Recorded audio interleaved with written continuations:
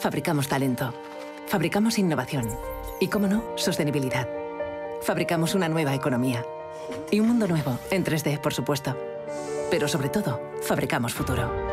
Y es que fabricamos empleo para más de 137.000 trabajadores. Fabricamos oportunidades globales de negocio en un espacio de más de 10 millones de metros cuadrados. Y fabricamos servicios de vanguardia y ventajas competitivas para más de 175 empresas. Consorcio de la Zona Franca. Fabricamos oportunidades para tu futuro. Welcome to D Factory, the factory that develops talent, technology, innovation, and of course in the heart of Barcelona. After all, D Factory is consolidating Barcelona as a European capital of development for Industry 4.0, for digitalization, for transformation, creating 1,500 direct jobs and 5,000 indirect jobs in the city, close to the metro, the harbour, and the airport. And promoted by the Consorci de la Zona Franca de Barcelona.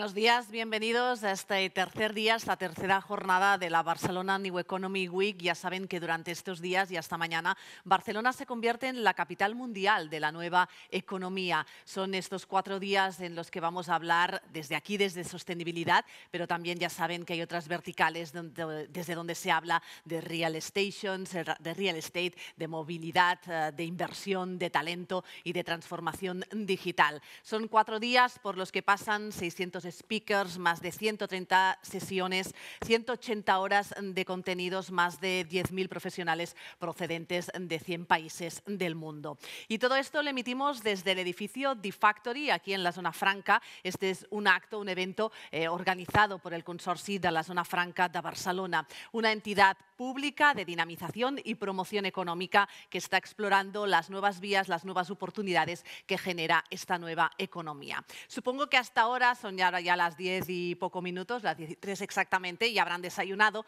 pero lo que no tengo ya tan claro es si se han planteado qué hay detrás de aquello que han desayunado, qué hay detrás pues, de ese bol de cereales con leche o qué hay detrás de ese bocadillo de jamón o detrás de esa tostada de mango o ese batido de fresa o incluso del café. Pues hoy queremos preguntarnos lo que comemos y de dónde proviene lo que, lo que comemos, qué hay detrás de todo ello. Por eso hemos llamado a esta sesión Nutrición consciente y sostenible, un concepto que no solo engloba aquello de comer sano y de proximidad, sino que también tiene en cuenta otros aspectos. Por ejemplo, que los alimentos pues, vengan de industrias que cumplan con los límites de la emisión de gases, que los cultivos preserven la biodiversidad, que si se utilizan productos de procedencia animal que esté libre de crueldad o de la pesca excesiva y que si van envasados pues que no utilicen centenares y centenares eh, de plásticos.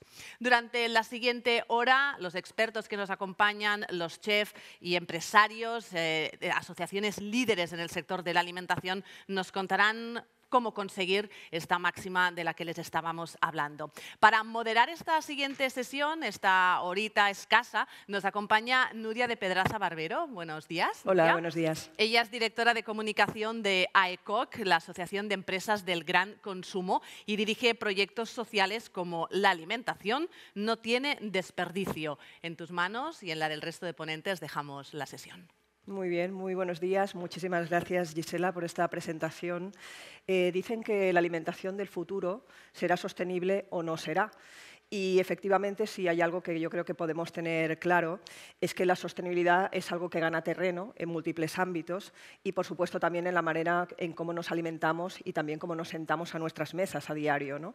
Para hablar de todos esos temas eh, y para hablar de ese impulso de una alimentación saludable y sostenible, nos acompañan hoy tres expertos. Eh, buenos días a los tres. El primero de ellos es Kilian Zaragoza, él es CEO en Naria. Kilian es eh, graduado en Ingeniería Industrial por la Universidad Jaume I y la Universidad Politécnica de Torino. Actualmente es director general de Naria, antes Food Ration for All. Es una empresa de economía social dedicada al diseño, desarrollo, comercialización e implantación de proyectos de innovación y triple impacto social, medioambiental y económico. Y además todos ellos están enmarcados en el sector de la alimentación y la sostenibilidad ambiental. Kilian, buenos días, bienvenido. Buenos días, muchísimas gracias. Eh, la siguiente invitada es Alba Cánovas. Ella es Service and Project Manager en Antechis Labola. Es licenciada en Ingeniería Química, cuenta con un máster también en Ingeniería Ambiental y es doctora en Ingeniería de Producción, donde estudió los impactos derivados del desperdicio alimentario. Cuenta con 10 años de experiencia en el sector de la economía circular y el análisis del ciclo de vida. Y en Antesis Labola trabaja como Project Manager y Service Manager para el sector agroalimentario. Alba, bienvenida también a esta mesa redonda. Buenos, días. muchas gracias. Y cierra la mesa Ada Perellada. Ella es propietaria del restaurante Semproniana yo creo que Ada no necesita mucha presentación, pero es la hija menor de una de las familias de hosteleros con más historia de Cataluña. En 1993 abrió su propio restaurante, Semproniana, y lleva pues nada más y nada menos que 30 años, como ella dice, de aventuras empresariales eh, en el ámbito de la gastronomía y la alimentación, en la que combina la gestión del restaurante con la publicación de libros de cocina, la colaboración en medios de comunicación y también el activismo contra el desperdicio alimentario y la defensa de la cocina sostenible. Del tema del desperdicio vamos a hablar hoy también en profundidad porque cada uno de nuestros invitados tiene experiencias muy concretas y muy interesantes en ese ámbito, con lo cual profundizaremos un poquito también en ese, en ese tema. Pero vamos a empezar ya, si os parece. El tema que tenemos encima de la mesa es el futuro de la alimentación consciente y sostenible. Y yo creo que la primera pregunta necesaria tiene que ser qué entendemos por esa alimentación consciente y sostenible. Desde vuestro punto de vista, ¿qué ingredientes debe tener ese modelo de alimentación que debemos impulsar? Kilian.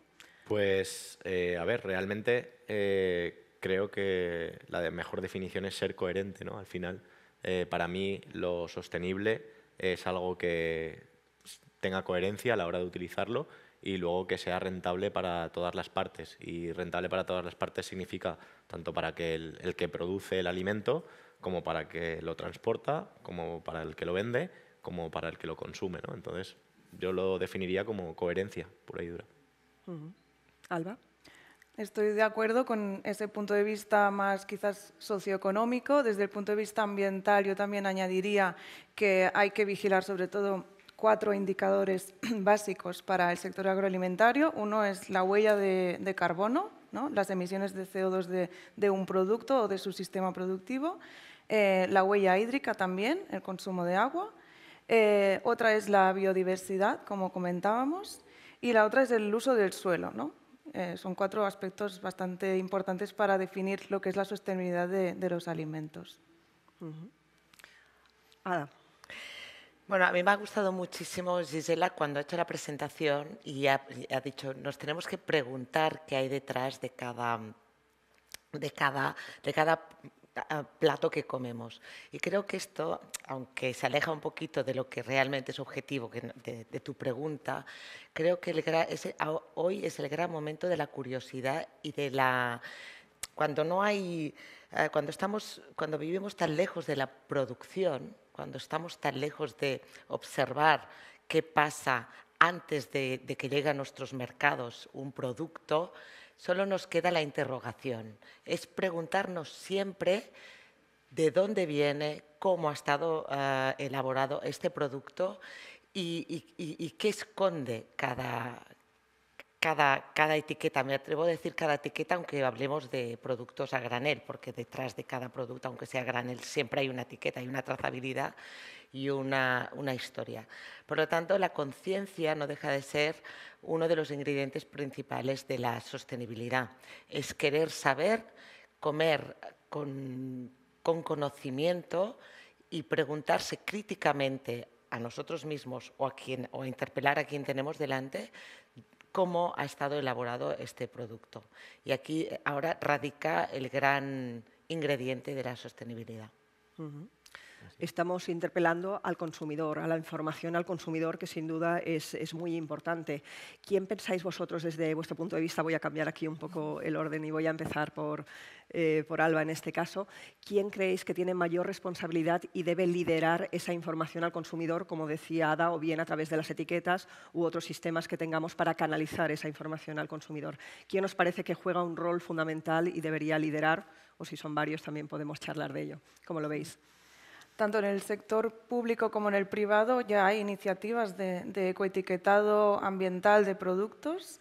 Entonces, esos dos sectores son primordiales. Es lógico que el sector privado normalmente siempre avanza más rápido que, el público, pero ambos son eh, muy relevantes. Em, mi experiencia no tanto desde el punto de vista nutricional y de etiquetas nutricionales, sino de etiquetas ambientales de producto, em, os puedo decir que a nivel privado ya funcionan bastante bien.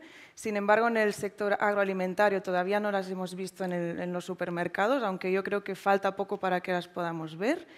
Y a nivel, eh, por lo menos público, en la, Comisión Europea también se están desarrollando pues, unas etiquetas eh, de declaraciones ambientales de producto que pronto pues, también vamos a ver de alguna manera armonizadas ¿no? para poder comparar estos productos eh, de la cesta que, que compramos en el súper.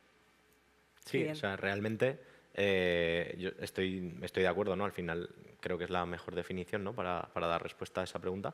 Eh, pero al final esto es un trabajo, creo, de todos, ¿no? O sea, es como que no tenemos que darle la responsabilidad del etiquetado o al que lo fabrica o al que lo produce o al que lo vende, sino que al final entre todos tiene que haber eh, ese sentido común para que el consumidor entienda lo que está comprando y le dé valor, ¿no? Al final eh, los consumidores eh, tenemos un, arma muy fuerte, ¿no? que es que somos capaces de decidir y votar con votar en el sentido no, a título político, sino de votar, de, votar lo que queremos comer ¿no? y, de decidir. Entonces, creo que si el consumidor se le da la información adecuada de la trazabilidad que hablaba antes Ada eh, de forma transparente, el consumidor es sabio. Entonces, a partir de ahí yo creo que podemos ir hacia atrás para ir corrigiendo procesos. No solo sabio, sino que tiene un poder incalculable que él desconoce. O sea, el consumidor es quien realmente puede hacer cambiar el mercado y quien nos obligará a etiquetar o a informar o a producir de cierta manera. Sin su voz no hay cambio, de manera que tenemos eh, que transmitirle al consumidor este poder inmenso que tiene y no, y no transmitirle lo que siempre estamos achacándole, que es la responsabilidad del consumidor, que esto, mm, esto inhabilita, esto frena, esto hace sentirse culpable, sino que tiene un poder enorme. Yo siempre se lo digo, no tienes tanta responsabilidad, sino que tienes un poder que no estás usando, que estás dejando de lado.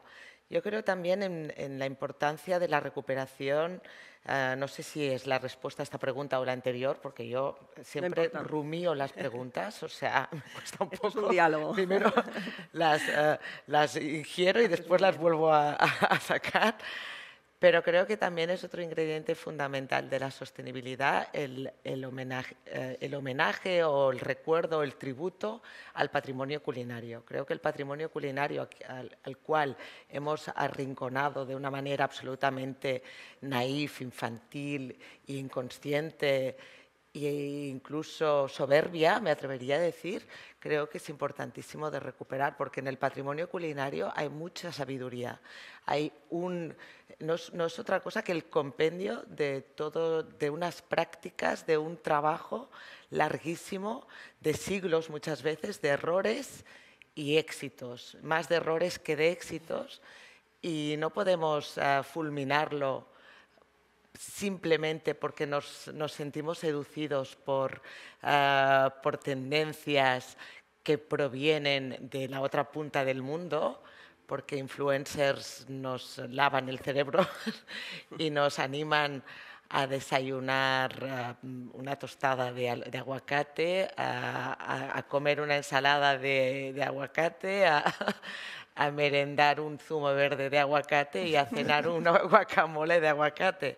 Entonces yo creo que tenemos que recuperar con, mucha, con mucho interés y mucha vehemencia el patrimonio culinario porque es el que nos conecta con el territorio y al final el que nos obliga a comer adaptado a la estacionalidad y a la proximidad. Y es muy, muy sensato, aunque esté... aunque en este patrimonio encontremos pollos asados y y estofados de carne, porque estos estofados de carne y estos pollos asados se reservaban a los, a los días festivos y tenía mucho sentido. Totalmente de acuerdo con el tema de recuperar nuestro patrimonio culinario y gastronómico, que además es amplísimo.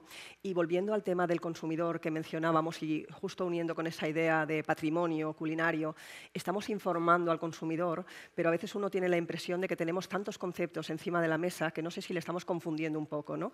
Y echando mano de eso que decías, que me parece muy interesante, conceptos como tradicional, artesano, por ejemplo, queremos una vuelta al origen en muchos casos. ¿no? Este modelo de, de alimentación más sostenible nos invita a volver al origen en muchos, en muchos ámbitos. Entonces, no sé hasta qué punto realmente con todos esos conceptos le estamos informando bien entre todos o estamos generando también con ese exceso más confusión en el consumidor que otra cosa. ¿Cómo lo veis? Sí, eh, yo creo que sí. O sea, al final eh, tenemos tal bombardeo de, informaciones y ahora es el kilómetro cero, ahora es eh, la cocina plan-base, ahora es la cocina sostenible. O sea, llamamos creo que con diferentes nombres a algo que, es tan igual, y creo que ahí, eh, Ada, tú lo vas a poder definir de la mejor manera, eh, pero estamos poniendo tantas etiquetas a un proceso que el otro día lo vimos ¿no? en el evento de cuando hablaban las, las, yayas o las abuelas que... Tuvimos en un evento conjunto. Que, que hablaban de, de, la cocina tradicional, ¿no? Es como que, que daban por hecho que esto se hacía así. Y ahora, en cambio, no, ahora es como que nos tienen que dar un etiquetado o darnos una, una nueva palabra o palabra para saber si estamos haciéndolo bien o mal, ¿no? Y, en, en, ante, en años anteriores, tampoco hay que tener muy para atrás, eso era tan normal.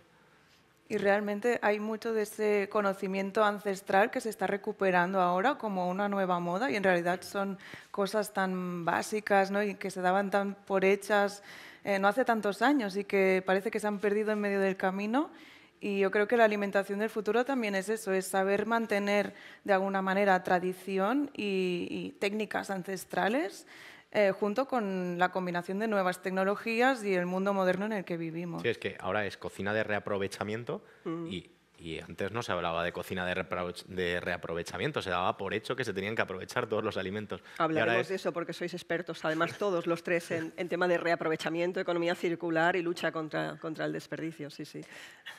Yo, yo pienso que más que información, porque hay un estrés de información, hay, el, consumidor se siente estresado, se siente sobreinformado y por lo tanto desinformado, porque la sobreinformación solo lleva al caos y a la desorientación absoluta.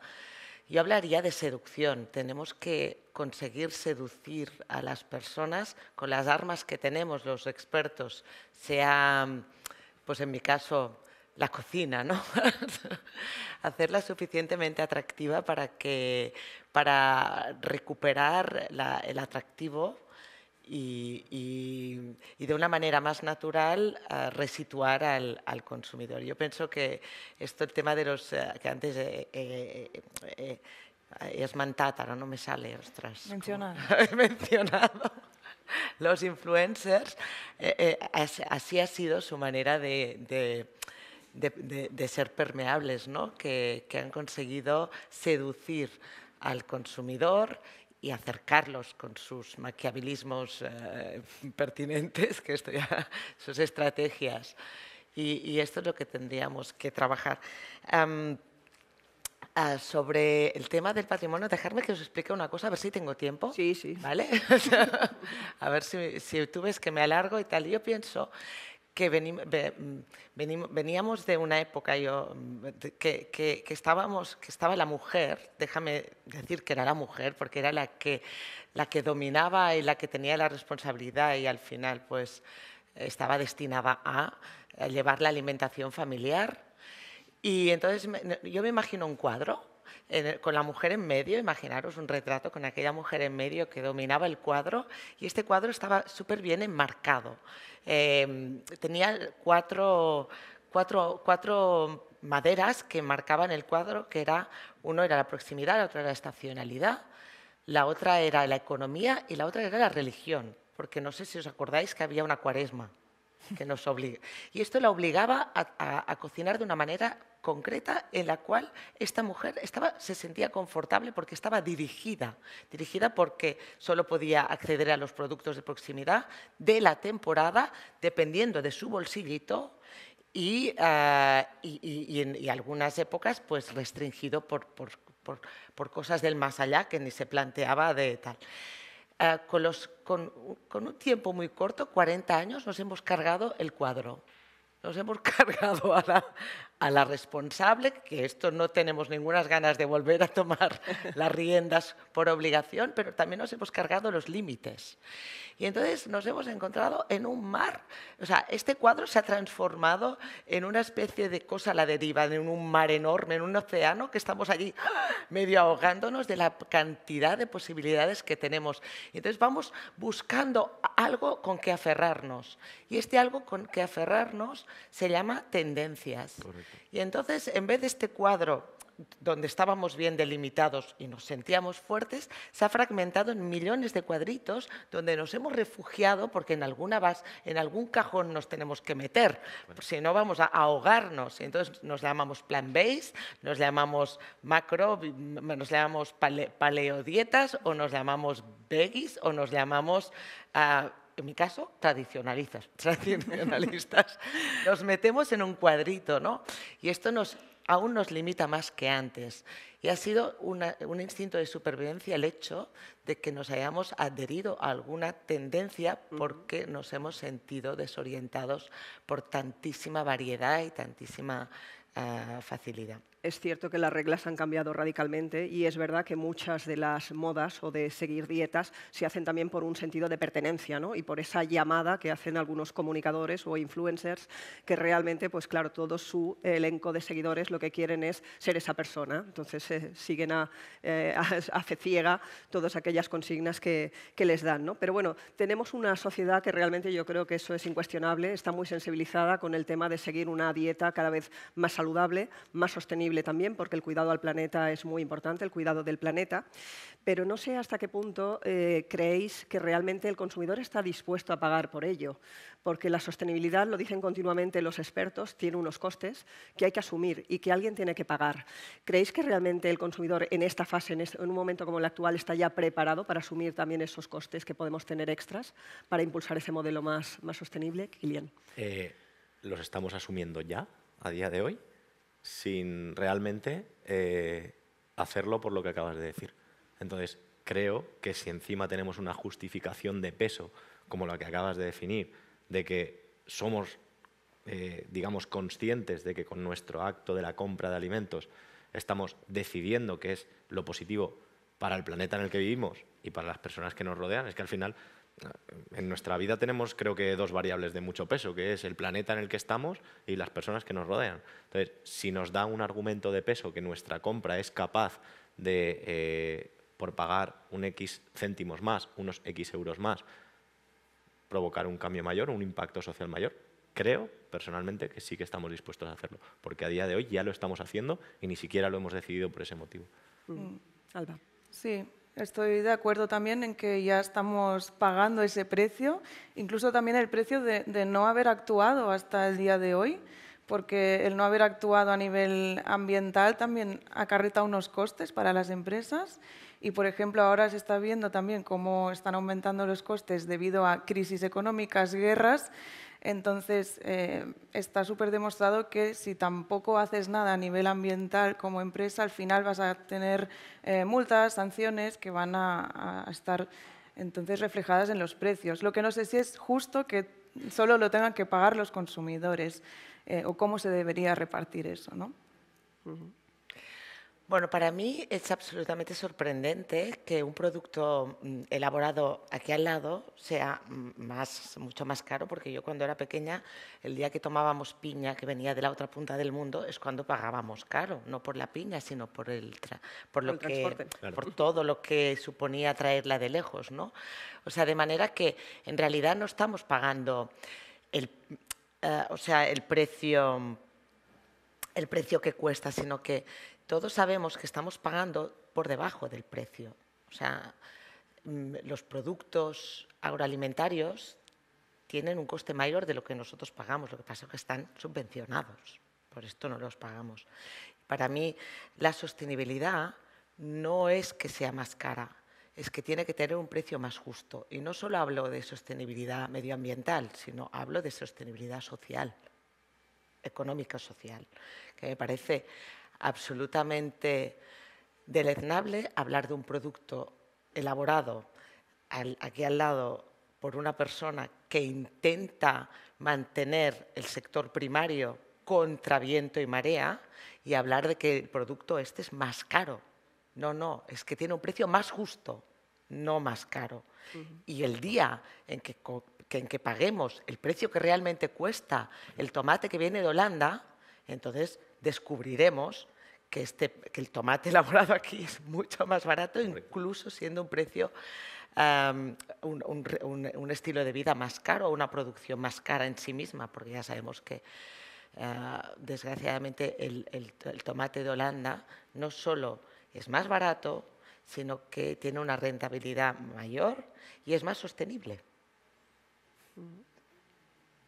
O sea que no tiene tacha pero no es lógico que sea más barato viniendo con, el, con la carga de CO2 que, que, acarrea. De manera que hablemos de precios justos, no de precios ah, de diferencia de precios, sino de precios justos y, y cuestionemos el sistema alimentario que está absoluta, que te un desori, que tampoco me sale ahora en castellano, pero ya me entendéis, enorme, que tiene una, unos desajustos, desajustes muy acusados y que deberíamos todos plantearnos y, y, y, no, y como decíais, la responsabilidad no puede, no puede caer, ni, la, ni, ni el castigo tiene que caer en el consumidor, sino que se tiene que hacer responsable el productor.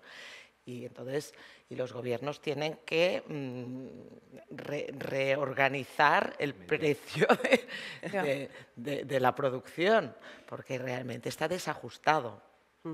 Lo que comentas, Ada, es, que es súper cierto porque se han globalizado ¿no? las cadenas de suministro de los alimentos y estamos tratando el alimento como un, un, producto, una mercancía más global y no se penaliza el hecho de que venga de lejos o de ciertos otros criterios. no es penalizar, es que tiene un coste en sí mismo que no se, que no se imputa. ¿Y por qué? ¿Qué pasa? Que los, ah, ah, los, las plantaciones o los cultivos intensivos tienen una rentabilidad mayor con un coste, como habéis comentado, en el, de desgaste medioambiental de los suelos muy importante y unos costes sociales o sea, y un, y, unos, y, un pago a las personas que trabajan semisclavizadas que no se repercute en el, en el producto. Si realmente este producto se asemeja o sea, todo lo, lo, que acarrea tanto medioambiental como social se adapta al coste europeo, siempre será mayor.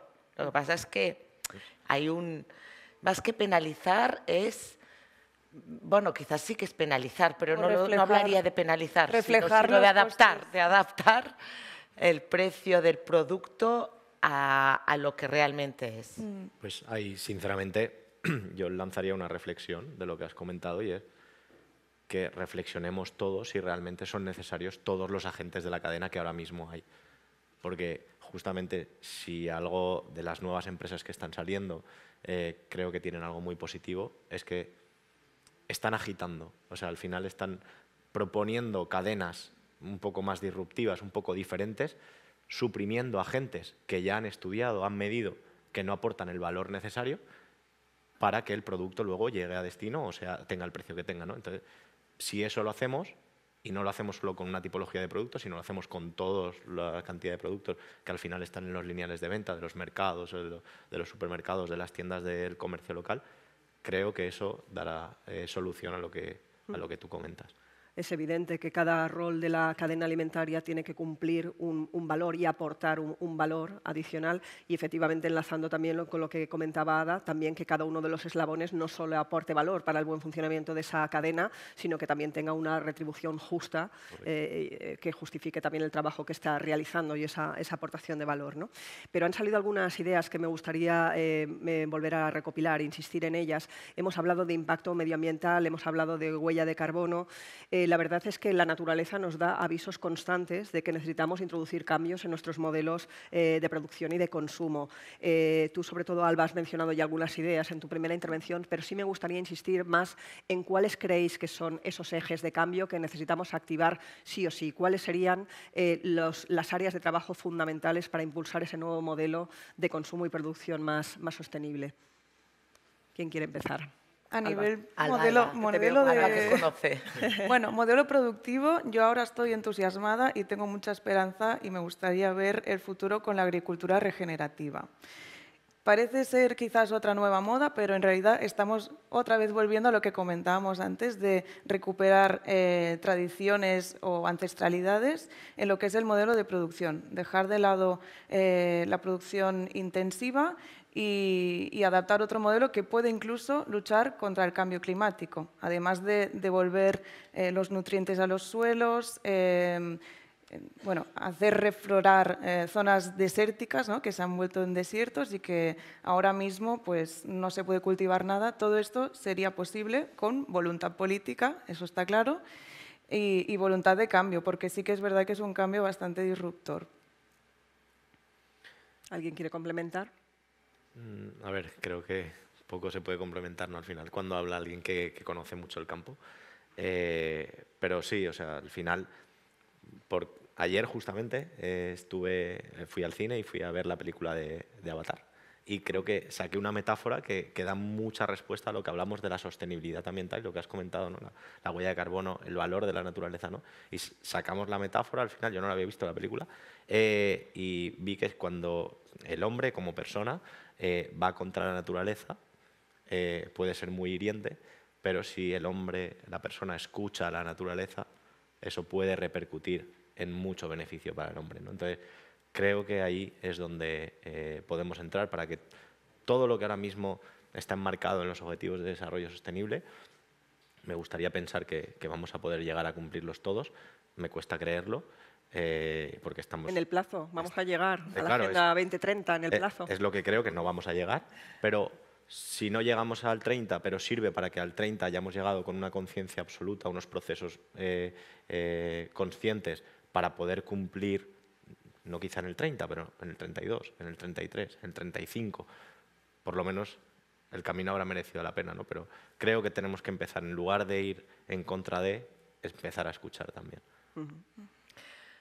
No, no, pero a ver, si es que no sabemos interpretarla, la naturaleza. La podemos escuchar, pero no la sabemos interpretar, porque estamos, la, gran mayoría de consumidores estamos muy alejados de la naturaleza y solo la usamos paisajísticamente y para, y para, mm, para disfrutar de ella, no para explotarla. Pero bueno, a ver, modelos, modelos. Para mí, es dejar trabajar al sector primario de, proximidad, dejarlo trabajar, no culpabilizarlo más, no, no atabalarlo más, que tampoco me sale a la palabra. Molestarlo. Permitirle realmente trabajar, darle la caña y que realmente mantenga mantenga un poco la supervivencia. Y cuando estás en un momento de muerte lenta y larga y segura, cierta, em, eh, la medicación es necesaria. Me refiero que a menudo no cuestionamos lo que nos viene de lejos, nos ingerimos lo que viene de lejos sin preguntarnos, sin preguntarnos cómo ha estado producido y exigimos a nuestro, a nuestro sector primario de proximidad que sea eh, biodinámico, termo no sé qué, regenerativo, disculpa, ¿eh, Alba, eh, la mara va a todo. Y entonces lo obligamos y el pobre hombre se nos desmotiva, se nos desanima, se nos atabala y plega. Y el hijo plega porque además es imposible rentabilizar con tanta, con tanta historia. Dejémosle trabajar, dejémosle que sobreviva, que sobreviva al embate tan bestia de las importaciones, que es lo que lo ha desestabilizado, que se enfortezca, que se, que se haga fuerte y que nos haga un producto accesible y sabroso. Porque estoy hasta el moño de productos insabrosos. Que, de militancia, cosas horrorosas. aburridísimos, ¿verdad? No, malas. malas. Malas, malas, en pro de una eh, agricultura ecológica, no sé qué, no sé cuántos y tal. Y resulta que acabamos comiéndonos el mango, que está sabrosísimo, que viene de la otra punta del mundo, porque al final, de escondidas, cuando nadie nos ve, nos futemos al puto mango este, ¿eh? porque necesitamos que sea bueno y claro, y el tomate y, la berenjena pequeña, hecha polvo, que no hay quien Dios se la coma, mm, la acabamos comprando por militancia. Dejemos trabajar a nuestro sector primario, que sea fuerte y que evite que acabemos comprándolo de fuera por precio y por sabor.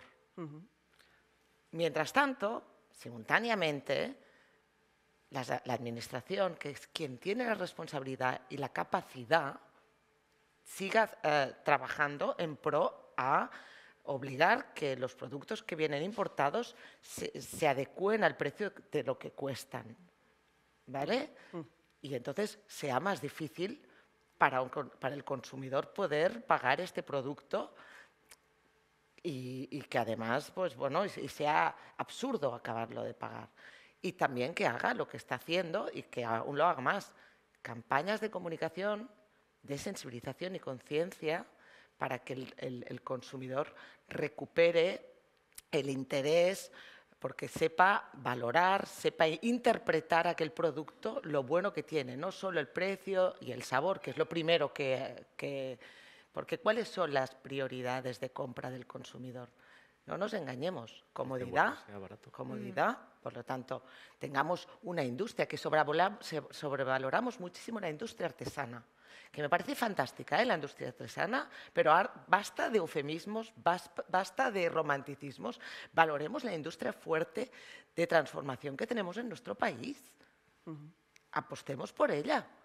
¿Por qué no? Está aquí, es de proximidad, ocupa a, nuestro, a, nuestra, a, nuestros ciudadanos, mm, o sea, defiende un producto. Además, obliguemos a esta industria a que compre de proximidad y haga realmente la cadena corta.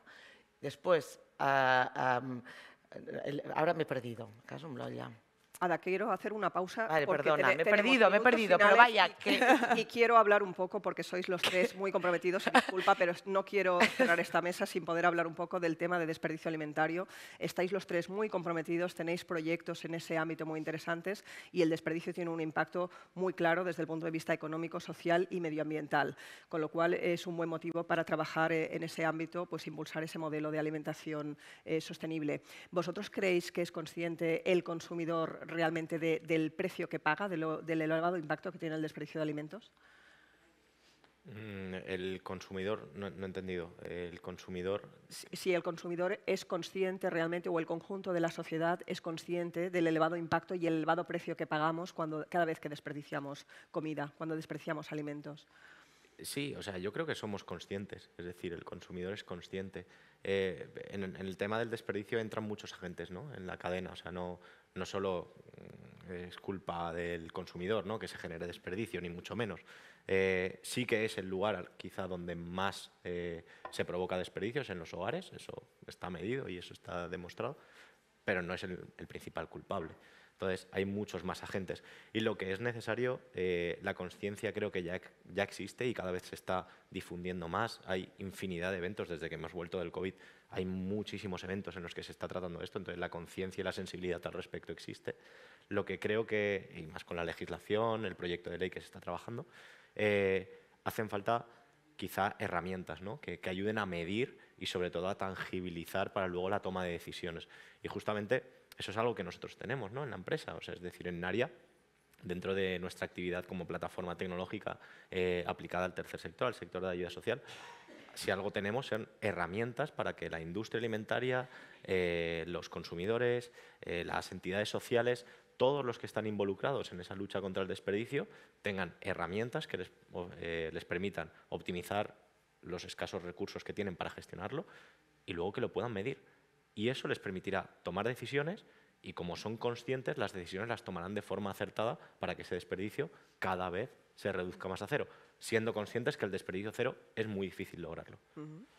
Alba, ¿cómo lo ves? Yo creo que el consumidor sí es consciente, quizás es más consciente en su casa de lo que pasa, pero no tiene conocimiento tal vez de lo que ha pasado en, la cadena de productos que, ellos compran, ¿no? lo que se desperdicia antes de llegar a su plato. Y, justamente hace falta ese acercamiento al, sector primario que comentaba Ada para darse cuenta de en todas las etapas qué ha pasado, eh, cómo ha sido tratado ese producto, cuántos se han perdido de por medio eh, y si conocemos quizás a nuestro agricultor, todas esas cosas quizás no ocurrirían. ¿no?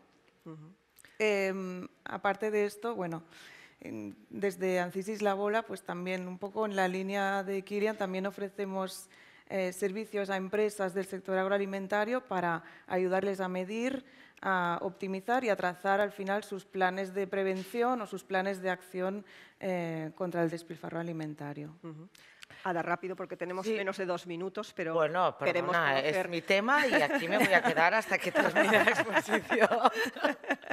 pero no, a ver, vamos a ver. ¿Qué hacéis eh, Preguntabas, ¿el consumidor es consciente? Yo creo que cada vez más, porque no será que nos han hecho, eh, que llevamos unos años el activismo trabajando para transmitir este problema o esta situación a todos. Todos los, los, los, productores también son consumidores, en definitiva. O sea que eh, todos comemos y, por lo tanto, todos tenemos el mismo derecho y la misma obligación de conocer la, problemática de cerca.